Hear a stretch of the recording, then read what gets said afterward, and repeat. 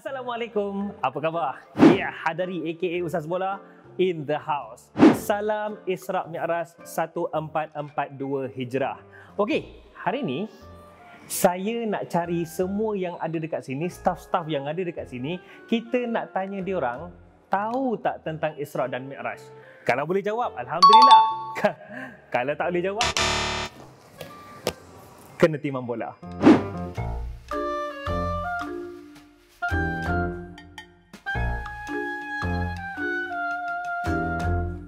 Assalamualaikum.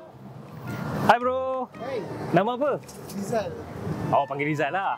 Okey, Hadari. Kat sini nak tanya soalan lah. Simple question je bang. Berkaitan dengan Isra Mi'raj. Okay, boleh? Kalau boleh jawab, Alhamdulillah. Kalau tak boleh jawab, kena timbang bola. Okay, boleh.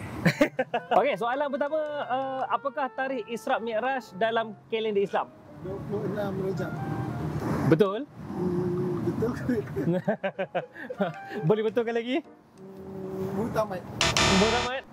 Okey, dalam Isra Mi'raj, perjalanan Rasulullah bersama Jibril uh, adalah menaiki Uh.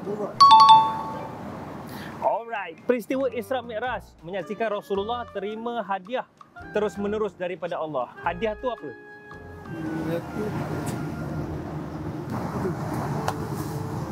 Jawapannya uh, ialah solat. Yang tadi soalan pertama tu jawapannya adalah 27 Rejab. Kena tambah satu. so salah dua kena timbang bola dua kali. Yeah, dua.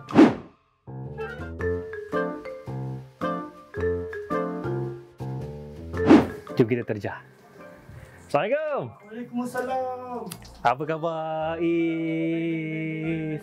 Nampak tak bawa bola ni? Ada sesuatu lah yang kita nak suruh buat. Tapi kalau boleh jawab tiga-tiga soalan yang saya nak tanya ni, tak perlulah ketimbang bola. Okey. Berkaitan Isra Mi'raj. Alamak. Okey, soalan pertama, apakah tarikh Isra Mi'raj dalam kalender Islam? Alamak. Ini bagi kita belajar dalam sekolah agama dulu ni. Tahun berapa eh? Tarikh dia, tarikh dia. Tu tarikh. Ha, saya timbang lah. Okey, satu soalan pas. Okey. Soalan kedua. Rasulullah dan juga Jibril menaiki apa dalam peristiwa Isra sebelum Mi'raj? Clue dia sepantas kilat, sepantas sekelip mata. Dia start dengan huruf B betul? Yap. Um, Lama benar tu jawapan tu. burak. I. Oh, okey. Tahniah. Alhamdulillah betul. Okey, soalan nombor tiga. Dalam peristiwa Isra Mi'raj, Rasulullah terima satu hadiah yang mana sangat istimewa. Para Rasul dan para Nabi yang lain tak pernah dapat hadiah iaitu terus-menerus daripada Allah. Hadiah tu, diskaun punya diskaun tinggal lima. Hadiah tu apa? Kita punya solat fardu. Alhamdulillah. Tahniah. Dua per tiga. So, satu salah. Satu tak boleh jawab. Silakan. Satu timbang. Oh, dua dia bagi.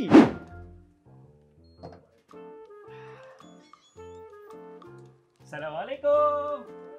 Irfan. Okay, ada something ni. Nampak tak aku bawa bola?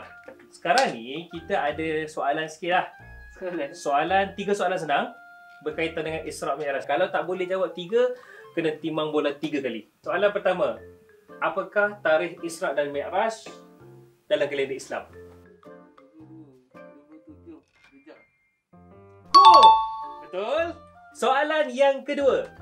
Rasulullah dan juga Jibril uh, dalam peristiwa Isra Mi'raj, Isra lah menaiki apa? Ah, ini saya tahu. Yang Mina tak tahu? Buruk-buruk. Ah, Ah. betul, Buruk. Dalam peristiwa Isra dan Mi'raj, Rasulullah sallallahu alaihi wasallam dapat satu hadiah yang sangat istimewa. Tak pernah ada rasul dan nabi yang dapat hadiah ni. Apa hadiah tersebut? Hadiah tu untuk diri baginda dan juga umat-umatnya. So, surrender. Ah, tahu. Jawapannya ialah solat. Oh, aku tak tahu. Silakan sekali. Takkan ya. sekali pun tak boleh. Dua dia bagi. Alhamdulillah. Selesai kita cari mangsa-mangsa kita dan sebenarnya bukanlah kita cari dia orang, kita nak uh, tanya soalan nak tengok siapa boleh jawab atau tak boleh jawab. Tidak. Sebenarnya kita nak share ilmu tentang Isra dan Mi'raj dan kita nak tahu juga betapa hebatnya Isra dan Mi'raj ni ada jutaan hikmah di sebalik kisah ni.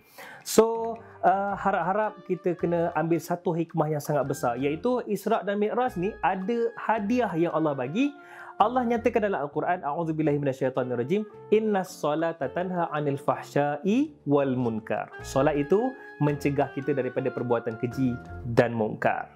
Alright? So, insya-Allah mudah-mudahan ilmu yang kita share kali ini dapat manfaat untuk anda semua. Alright? Salam Isra Mi'raj 1442 Hijrah.